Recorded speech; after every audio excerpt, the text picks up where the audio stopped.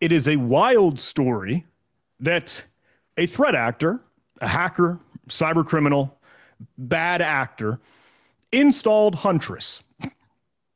Um, and for folks that don't know, Huntress is an EDR, right? Endpoint detection and response managed security solution, a whole platform for our security operations center analysts and for people to dig in and investigate malware, uh, alerts, signals, all the things that will, you know, flag and prove and confirm malicious activity. And this bad actor, I think was looking for Bitdefender. And there's no secret here. A lot of bad actors or threat actors will experiment and try to test other security solutions or any different antivirus EDR thing so that they could see how well does their malware or their tooling perform. Does it work? Does it bypass? Can it fly under the radar? Uh, so they were looking for Bitdefender, and we even saw them look around at a couple others. I think Malwarebytes was in the mix a little bit. Mm. Um, and they come across Huntress and they install Huntress, which gives us a absolute gold mine of visibility in this threat actor and cyber crimes operations. Their tooling, their workflow, what they do for some AI, some Google Translate things here and there. It's just fascinating to see a lot of their toolkits, Evilginx, phishing setup, maybe some Stealer logs with info Stealer malware, blah, blah, blah. It's a wild story, and we could even dig into some of their routine. Like, how often are they on keyboard? What are they working? What time do they put into this effort?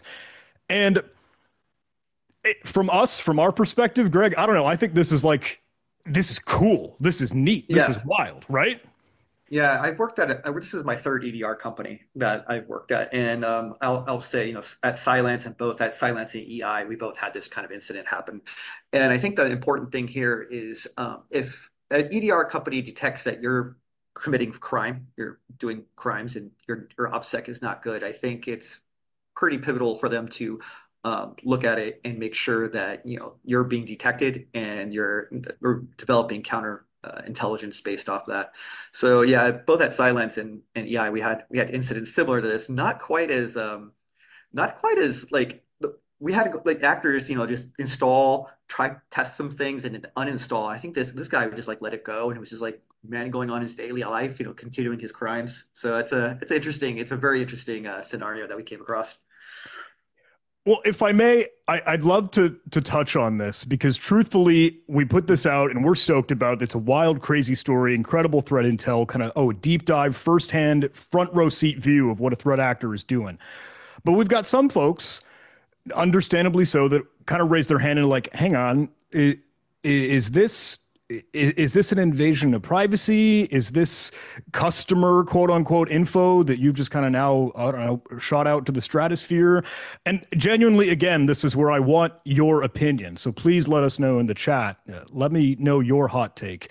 But I think, I hope this is a huge testament for, okay, getting the education out there that this is what an EDR can do and does. Like this is no different from what CrowdStrike has the access. This is no different than what Sentinel One could do. This is what every endpoint detection response, especially when you've got security operations center analysts that can dig into it and investigate the endpoint, and we dug into this because there were defender alerts picking off. We'd seen this host name previously uh, in past intrusions, uh, and there were a whole lot of red flags sounding alarm bells to okay, let's go see what are, what is the malware on this host and why. Uh, so.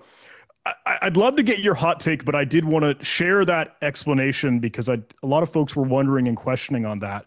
But that is what a security solution does. Am I wrong on that, Greg? I don't know. Am I barking no, up the wrong tree? No, I think you're right. Um, I think yeah, especially since we detected based off you know things they were you know actions that they are. We're not jumping into every machine and like going through it you know, systematically. We're not assuming that everyone's a threat, you know, bad actor. It's because we detected malicious behavior coming from that machine, and that's why we decided to act on and investigate. I think that's really important to uh, factor of the story there too.